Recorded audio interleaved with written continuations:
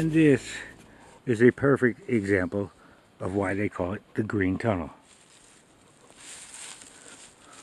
I'll just walk it a little bit with you.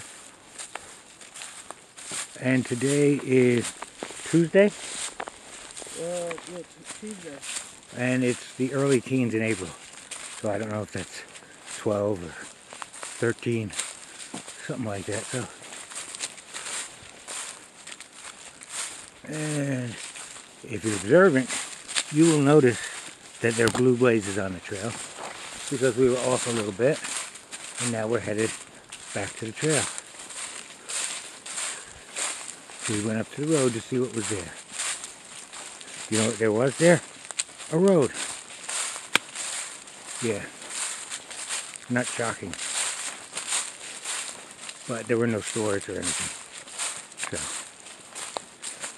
Which is not real surprising considering we're in the woods still.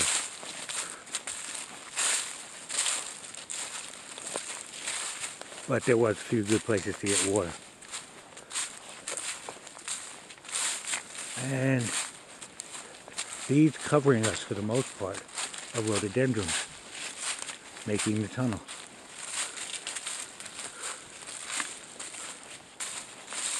And if it was consistent all day through, I wouldn't have to wear the hat or the long sleeves.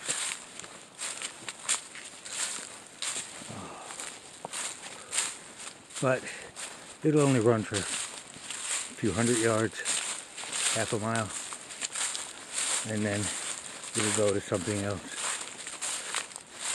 It always amazes me how the plants all agree to congregate in one area.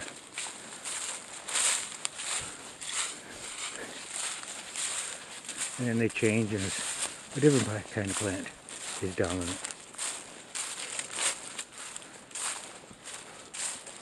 Alright, rather than bore you all to death,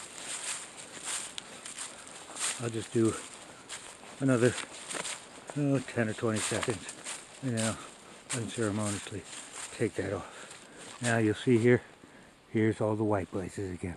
So we're on the AT. Now I just have to sit and orient myself. I'm pretty sure I'm going to go that way. But you never know.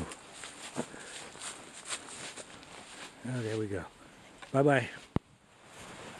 Okay, so now we will see Fred and Wilma's summer home.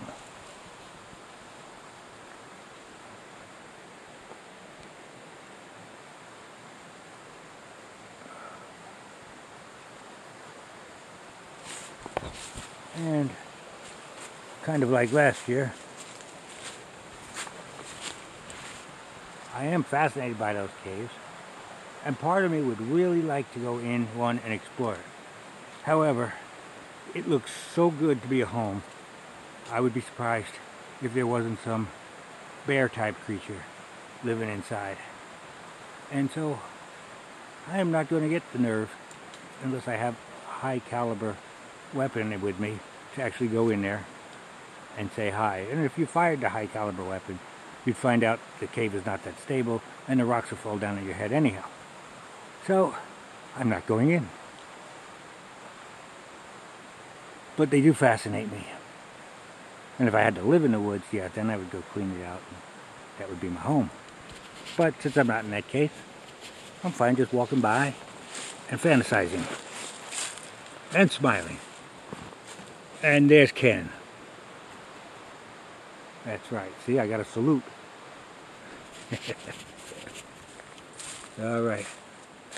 We're still in the woods and we're still in that green tunnel. We've been walking it for a good 15 minutes since the last time I had this camera on. So it's still the same day it was Tuesday and there's water running over there which is really kind of beautiful. That runs with you for a few miles on this pat on this section. All right, I'm gonna turn this off now.